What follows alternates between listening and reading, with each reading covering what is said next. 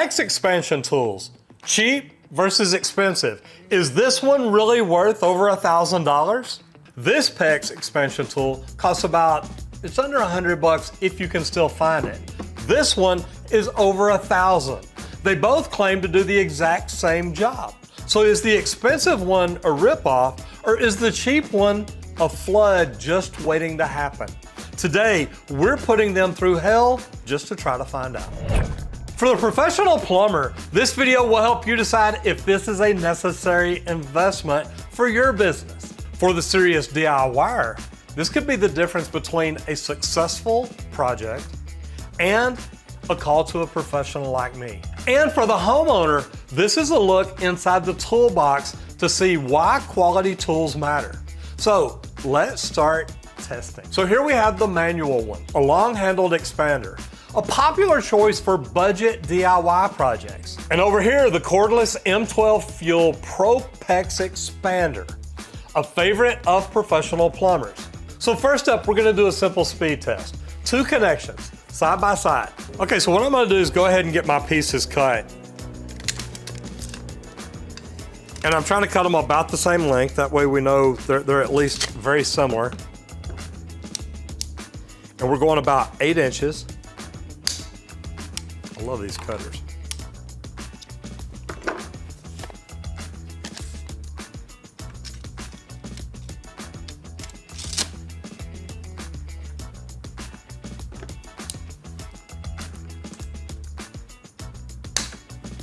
All right, so I've got two pieces, just about the same length as you see. No, no tricks, no, no, no magic up my sleeve. Now, before we get started, we're gonna make sure both pieces are lubricated like they're supposed to be. I'm gonna go ahead and get some gloves out. Now what we're gonna do, we're gonna go ahead and take the expansion head off. As you see, I've never used this tool. And I'm gonna take a little bit of lube and put it right there on my rag. Now it doesn't take much, but you need to clean the inside of these heads, re-oil everything about once a week. Make sure you get it clean, make sure you get it dry. And this is all you're doing. You're just lubricating that head. And then what you wanna do is you wanna make sure you got a rag where you can kind of roll it up like that and stick it down inside the expander head. So first you do the expander cone, then you do the expander head, and this lubricates it way it does what it's supposed to do. And guys, this will make your tool last longer. Now I'm gonna go to another area because we're gonna do it over here too.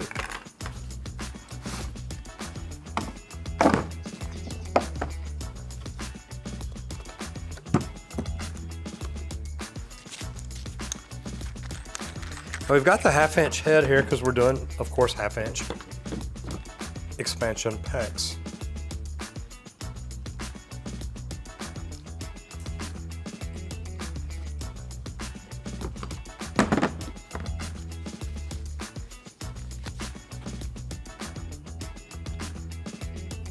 Again, it just takes a little bit.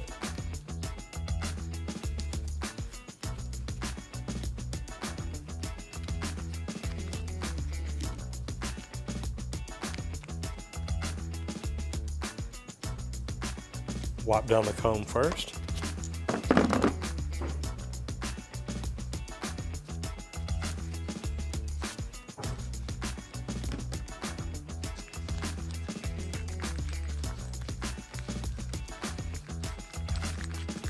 No matter which tool you use, you want to make sure you keep them lubricated like this all the time. Now, if I were to change from half inch head to a three quarter head, I'd want to lube the inside of it and I'd probably go ahead and wipe down the outside of it again just in case because if I've already got the lubricant out anyway, why not make sure it's ready to go.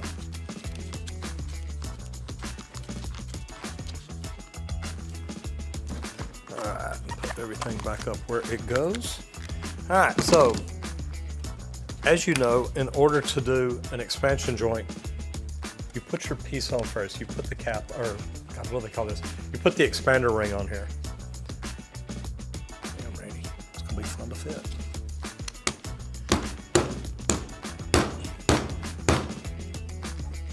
This is gonna be fun. All right, so what I'm gonna have to do is kind of get it.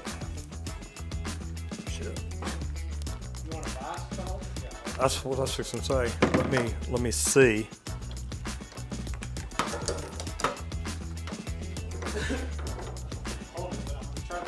Now, I'm not tightening this down really tight, y'all. All right, so I'm putting this in a vise just to hold it. Now, I don't have it super tight, but I've got to be able to use two hands on this tool. So what I wish, I wish that this was the rigid piece and then this was the handle. The reason being, it would let me keep pushing this way.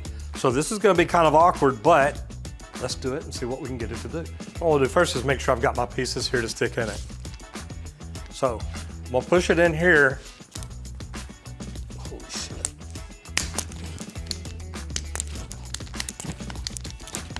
Now it automatically rotates. Man, it expanded it out pretty well. And now I'm just waiting for it to draw itself back in. Okay, so there's the first one. And again, I'm not putting a lot of pressure on here, just making sure.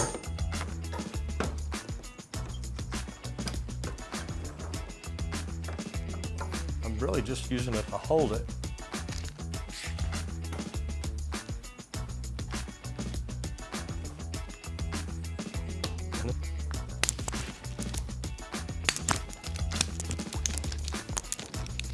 Okay, there's five.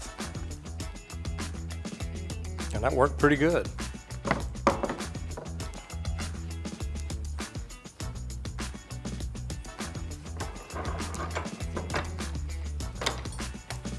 Like I said, I put this in the vise to hold on to it. That way I wouldn't have any problems. So I've got my plug in, I've got my female adapter in. So we're gonna set this one over here.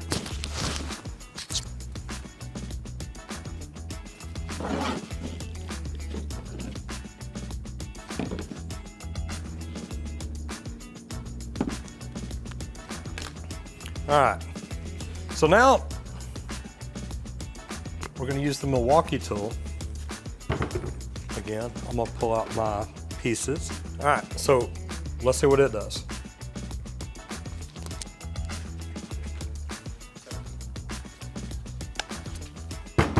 That'll keep your battery from running down.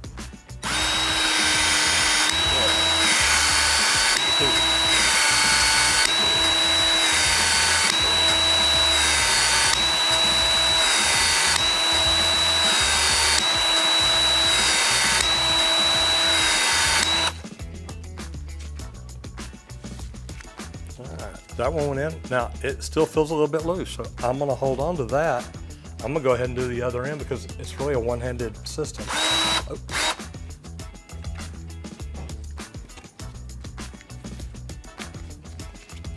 I've done that before, so be careful.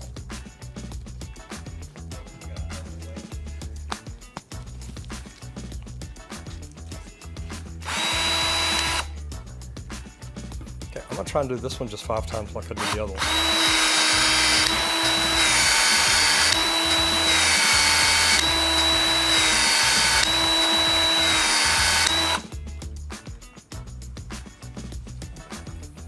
All right, so the brass end has already come back down. The plug-in's already snugging up on it too. Man, we're looking really good here. Both pieces are done.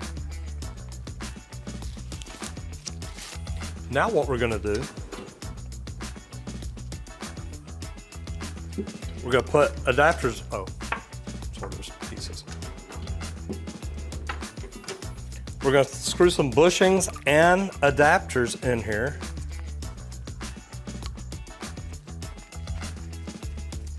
So that we can put them, oh, you, you thought we were just gonna show you how they went together. No, we're gonna try to blow them apart and see which one holds better. That's what makes these videos fun.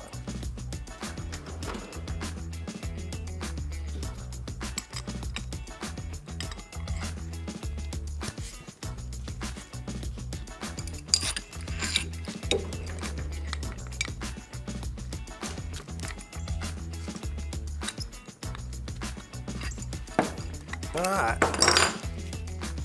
All right, so we've got them both together. So now what we're gonna do with Movie Magic I'm gonna make all this disappear. I've got this one marked. Go ahead and mark this one.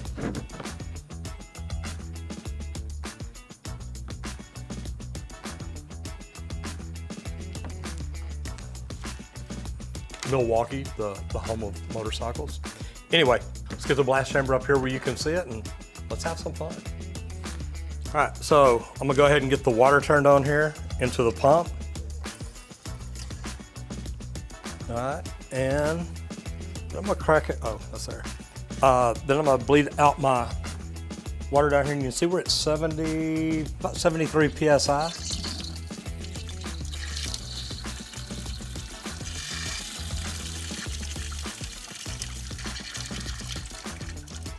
All right, so we got as much of the air bled as we can now.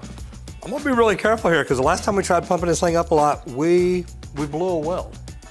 So let's slowly pump this thing up. I'm gonna try and go slow. So we're gonna pump it up and see what kind of pressure we can get. And this is the manual one right here, remember that. So add a little air to it.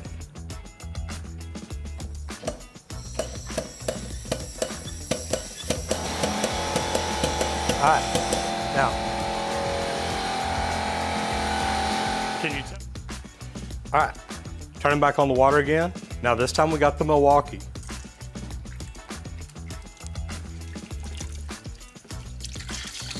All right, bleeding all the air out.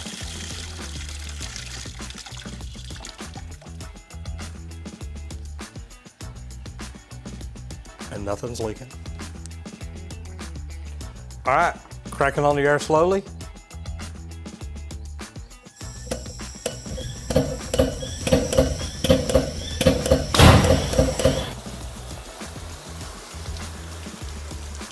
Now I'm gonna tell you, that's pretty good because the joints didn't blow, the pipe did. Very interesting. So the two connections side by side, the speed test. Well, the cordless tool, that was done in probably under 30 seconds. The manual tool, well, it got the job done, but it was probably three to four times slower. Now, on a whole house repipe, that can be hours of lost time. And you're gonna have to have a tripod or something there to hold the pipe. But speed is only part of the story. Let's talk about power. Now, this is for half inch PEX. With the manual tool, this is a serious workout. It takes a lot of upper body strength. Now, it didn't take a lot. I was able to get it done, but the long handles, they can be awkward. After 10 of these joints, now imagine if you're doing three quarter or one inch, your arms are gonna be burning. With the cordless tool, it's just a pull of a trigger. It feels exactly the same doing one inch as it does half inch. For a pro working all day, this isn't about just convenience. It's about avoiding injury and fatigue. If you're a company owner and you're going manual, your guys ought to be pissed at you. Think about this. If you're doing half inch, maybe even one inch, and you're in a tight space, say you're up between some joists and you're trying to put a coupling on or put a T on to go somewhere else, and you're up in here trying to leverage this thing, you're holding it like this and trying to get all this in. Guys, look, I'm not saying it can't be done. But if you're doing a whole house repipe, sometimes you're gonna get into places that these handles can't handle. Now, this compact area on the M18, amazing, it works. And when you're up in those joists, if these handles can't open wide enough, is it really gonna do what you need to do? So at that point, you physically cannot make the connection, or you've gotta make it outside the joist, then put it in. Now, this would be an exact situation that you could run into. Maybe where a DIY project comes to a complete halt. Now the cordless tool, one hand, no problem. You just hold the pipe and get it in there and there it is. This is the deal breaker. This is why professionals invest in tools like this. But the most important difference is the one that you can't see, and that would be the pressure test, which we just did. Okay, the good thing about both these, they rotate. Now some of these don't, and you literally, you get in there and you've got to keep turning that way you're not just stretching out the same little piece all the time. The Milwaukee, it automatically rotates with each expansion too. This ensures the pipe is stretched perfectly, evenly, creating a flawless seal. Now with the manual tool, some, remember, you'll have to rotate. This one, you don't have to. But like I said, guys, we can't even find this online anymore. Now, if you forget or you don't do it evenly, you can create tiny channels that will cause a slow leak behind the wall of the pipe. The power tool, it doesn't just make the job faster, it makes it more reliable. So is the cheap tool worth it? For a DIYer with a couple of fittings to do in a wide open space, probably so. But it's physically demanding, it's slow, and it has a higher risk of use error. For any professional plumber, the cordless expander isn't a luxury. It's a fundamental tool of the trade and it pays for itself in time saved because labor is the most expensive thing you can have. And on jobs that can get you done faster than the manual one can. And most importantly, the peace of mind from a perfect, reliable connection every single time. So guys, you see, the manual one it blew out on both ends. We saw that in the video and you can see we've got separation here and we've got the plug starting to come out here. Now don't get me wrong, it held it up to 510 PSI. Your house is never gonna get to that. If you've got one or two joints, this is fantastic. The Milwaukee, the joints didn't leak. The pipe burst and it did it at 866 PSI. Choosing the right tool is a sign of a true professional. It shows that you understand that quality, speed, and reliability are more important than just the upfront cost. Guys, if it's all about upfront cost to you, man, you're always gonna have the worst tool. This is a mindset. That professional mindset is the core of what we teach in our Becoming a Better Trade Person course. We go beyond the basics to teach you the strategies, the techniques, and the decision-making process that top tier plumbers, they use these to maximize their skill and their income. Now you've already invested in your tools. Now, maybe it's time to invest in the expertise that makes them truly profitable. You know the plumbers, the ones that are out there making the most money, that's what you can do. So click the link in the description to see how you can elevate your craft. Now that you know which expander to use, check out our ultimate guide to PEX versus copper right here in this video. Or watch one of the controversial takes that we have on SharkBite fittings over here. I'll see you in the next video.